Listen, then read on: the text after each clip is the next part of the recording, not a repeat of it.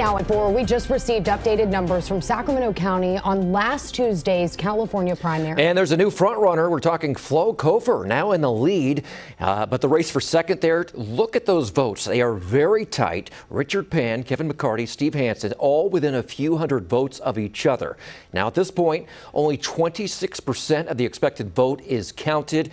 Uh, as we've been telling you, the top two candidates square off in the general election in November.